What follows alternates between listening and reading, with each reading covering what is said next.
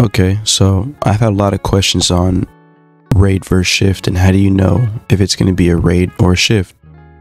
Um, I believe mostly for entry purposes for people who are obviously looking for entries rather than direction for whatever reason. But what I will say is if you want to know the difference between a raid and a shift, the number one rule is obviously time.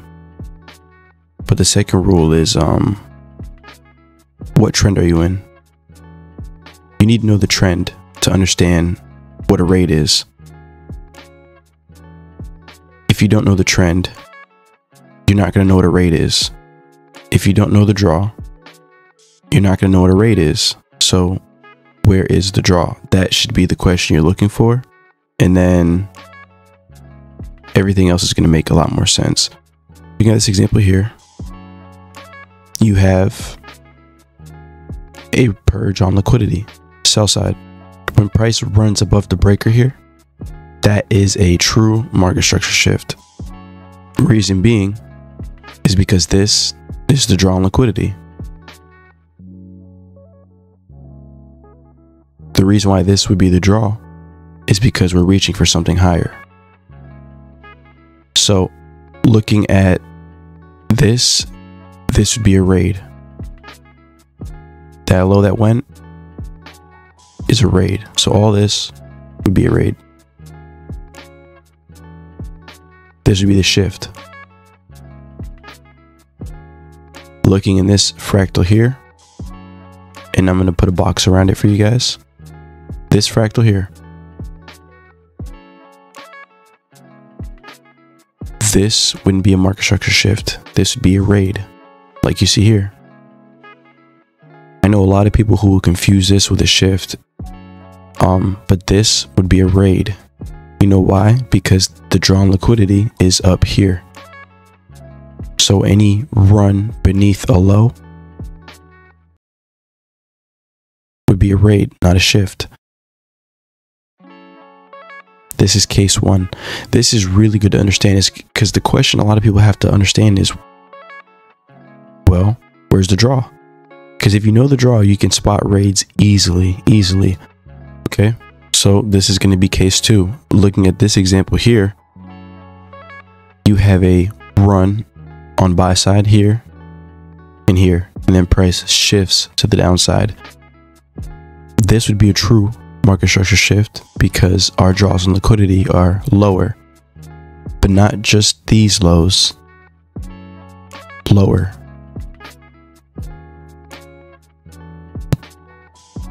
So, understanding narrative and drawing liquidity, and then low hanging fruit. So, this would be a real market structure shift because our draws on liquidity are way lower. The trick is, is where is the draw? Because once you know the draw, you know what a raid is. So, looking at the right side of this curve, you should see a pop above an old high.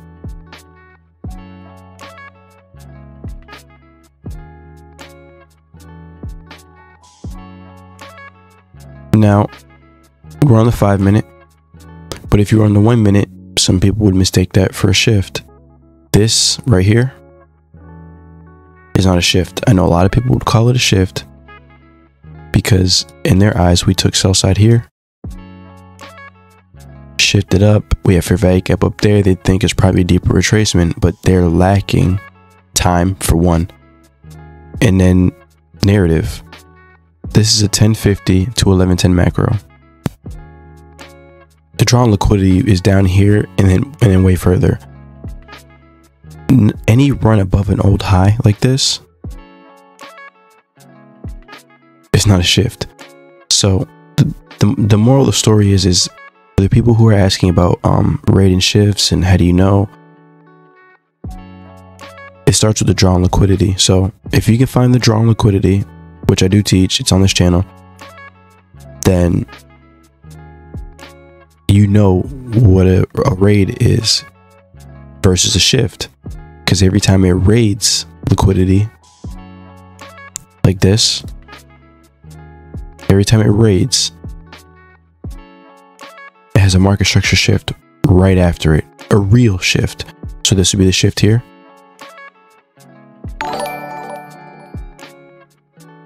This would be the shift here.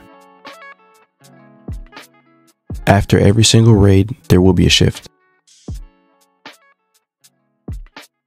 And a part of it is understanding Judas. So the reason why your raids even occur is because Judas swings. You have to understand Judas swings too. A Judas swing is basically if price runs in a direction that's not real, trying to get people to um buy. So if price is running up, it's trying to get everyone to buy, and it's knocking out a lot of birds with one stone. So it's running buy side, getting people to buy, stopping people who are already short, and then just fooling people in general. And then the shift happens. Just like right here. It's running in the opposite direction, stopping people out here. It's getting people to go long, and it's also rebalancing price here. So it's doing a lot of different things in one when sitting for the Judas. But once you see the Judas happen, and then the shift is right after it, this would be case two. Looking at this example, um, you should be able to see it, but this right here is clearly, clearly, clearly, clearly a raid. Okay, this is the true market structure shift here. As you can see, price stayed under the breaker. Um, I do want to point that out. So you can clearly see the liquidities here. Um, also, this isn't the draw. This is just getting blown past regardless, but the draw is actually more down there. But knowing the draw and liquidity is going to help you understand a raid versus shift. So we pop above an old high here and obviously some sort of older high. Over here, we pop above this high and obviously um, some older highs. And then the shift happens right after keeping under the breaker.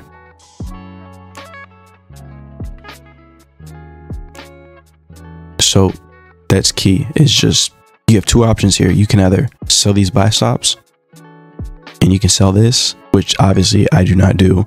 I don't advise anyone doing that. I don't do that. But people do do that. I have done it. Now I don't obviously try to do it, but narrative is key.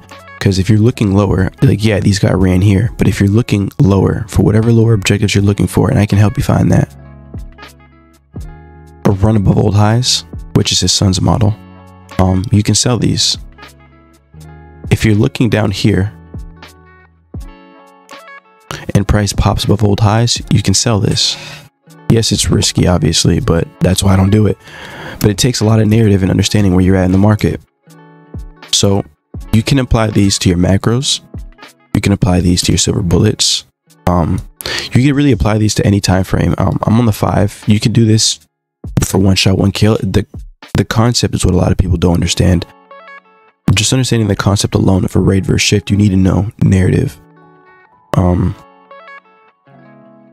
if you guys want, I did post um a free video, my uh, revamp, which is down below in the description. So we have a lot of free members joining. You guys should join. I will post um, free educational videos. I'm slowly kind of walking away from YouTube. Not for any reason intentionally. I'm just walking away slowly. Focus on my group for um 2024. But uh if you guys want to know what macros to trade, what silver bullets to trade, when to avoid bad silver bullets, when to avoid bad macros, and just know ahead of time. So, like, let's say you want to learn what macro to trade instead of sitting at your chart all damn day hoping you get a rating shift. Because I know a lot of people are doing that. Or maybe sitting down for the silver bullet and it doesn't pan out, it just consolidates. Because I know a lot of people are doing that. You can't join the revamp. I do teach that and I teach how to use your roadmap. So all of it is off the heels of your roadmap. Your roadmap is your economic calendar. Your economic calendar is forexfactory.com. Knowing how to use forexfactory.com is literally going to change your trading upside down. And I promise you, you can't pay, you can't pay anyone to figure this shit out. You cannot beg anyone to figure this out because no one knows. If you study ICT content and you are the perfect student, you would arrive at these results on how to actually use your roadmap. So you can do it.